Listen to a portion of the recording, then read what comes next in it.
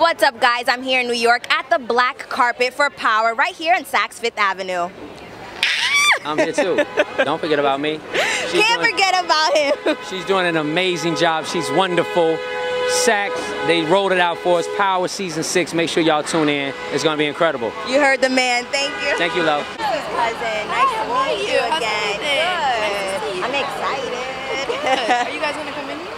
I'm hoping. We'll see. Okay. But okay, so my first question for you is uh, Tommy is more of an emotional person, more of an emotional killer, and Ghost seems to be more of a, let's say, considerate. Do you think that in life you base most of your decisions off of emotion or off of consideration or practicality? I'm a Cancer, is my zodiac sign. We're very emotional to a fault you know, hard on the outside, super soft on the inside. That's the characteristics of a cancer. So yes, emotions all day long. Yes. And your character in the show is a ride or die. And uh, how do you take that from your show and put that into your real life? Do you feel like you're a ride or die friend yourself? Definitely. I mean, my best friend is here. That's been my best friend since the third grade. I mean, you don't see that a lot. Too. So she, um, that just shows, you know, I'm loyal to my friends. If I could stay friends with somebody since we were in the third grade. So uh, yeah. And um, has there ever been a time in life that you either felt powerful or powerless that you can incorporate within your character in the show? Um, I think at times I've, I've, I've, felt both. You know, I think we've all felt both. Sometimes powerless with some of the things that I watch that are happening in the world now, and it's like I want to do more than just post an Instagram or give a donation. Like you feel powerless, like you can't. Like what can I do to change all of this stuff? Um, and powerful because I know at the same time my voice has a large reach, and you know I can help a lot of people by using that. So feeling both ways at different times. And we are at Saks today. You also have your own fashion line, Lala Collection. I love.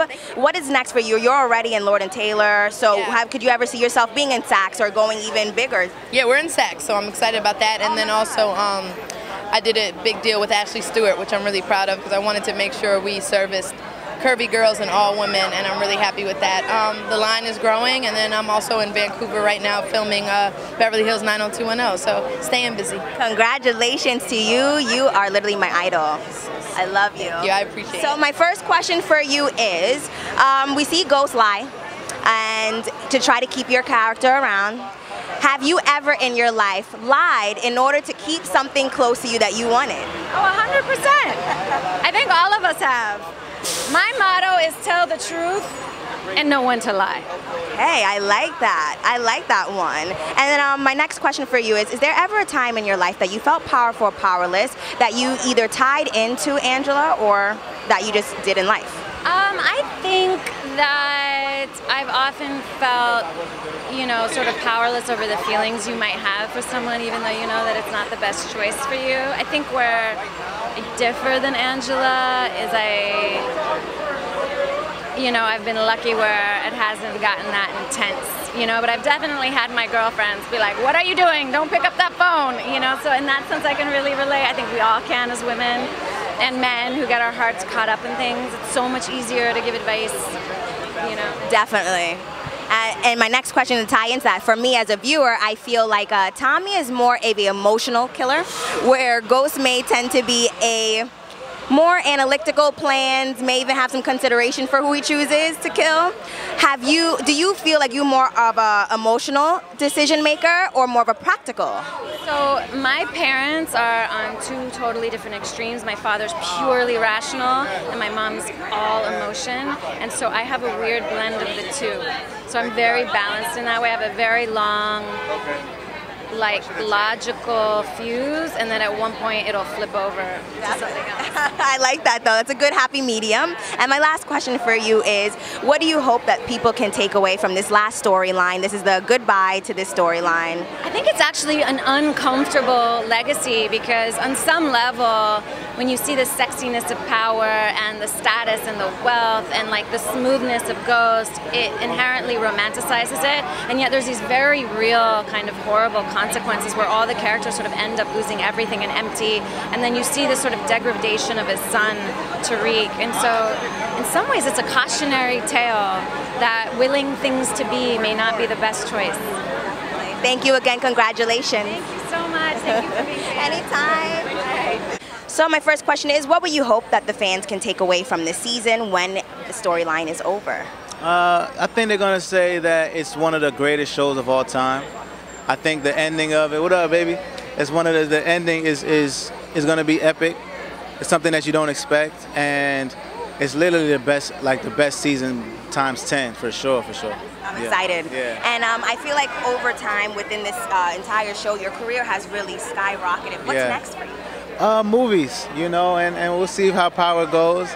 But like, you know, movies and just you know building building the music and going on tour and, and, and just growing. So I think it's, it's, it's all all together. Just just show what I can do like in all talents. Yeah. Yeah. Um, my next question for you is: Is there ever a time in your life that you felt either powerful or powerless that you can tie into your character in the show? Um, right before I booked the show, I felt pretty powerless. I had nothing going really for me at the time. I had no management, right? No agent, no anything. So I just kind of put, put myself in that position.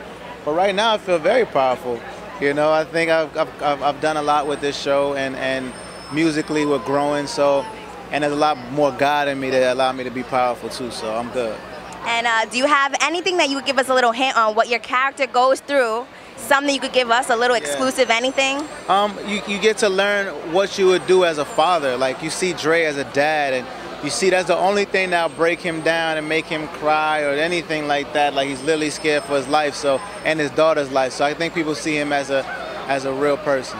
I love that. Congratulations to you. Thank you so Thank much. you. So my first question for you is, do you feel that Tariq, like nature versus nurture, is going to get to the level of what his parents are? Uh, do I feel like Tariq will be at the level his parents are? I mean, Tariq has exceeded us. He's like doing the most. He is a full on criminal, a drug dealer. I mean, sadly, he's become the new ghost. And I, um, I think Tasha's really afraid that she's going to lose him. Because at the end of the day, she's already lost one child, Raina, uh, and she just can't afford to lose another. And do you think that if Raina was still alive, she would have followed in the footsteps of the family as well? No. As far as the, the drug, no, no, no. Raina was different. She was special. She was definitely like, uh, oh, hey, that's my friend. Um, we'll see. She was definitely like somebody who was, I think, leaving some hope. You know, she she wanted to be better than us, and I think that's what made uh, her really special. And my question for you next is Have you ever had a moment in life where you felt powerful or powerless that you could tie into your character, Tasha? Um, I think in real life, I have felt powerless as a, you know, as a woman. When I first became a mom, I really tied that into my character because being a mother changed my whole perspective on what it takes um, to, you know, fight for your kids. The way Tasha protects them at all costs is exactly what I think I would do as a mom. And I just had a baby, but I definitely understand that struggle. And how do you balance being a mom along with such a busy career? Um, it's hard. It's like a lot of work, but I definitely feel like I have support, and the way that you have to balance is having a good team and a good support system. Definitely. And congratulations to all your success. I'm excited for the new season. And my last question for you is what would you hope that the fans could take away with this final ending to this story? Ooh, I hope that the fans feel satisfied with the drama that we've created, the emotional journey of the characters. I hope that they feel, you know, fulfilled because at the end of the day, it's just like we've come six seasons. These characters have grown so much, so I just hope they enjoy it. Yeah, we don't need a Game of Thrones outburst, No, right, no. for the ending. You will be you will be totally satisfied with season six. Trust me. Okay, good. Congratulations to you.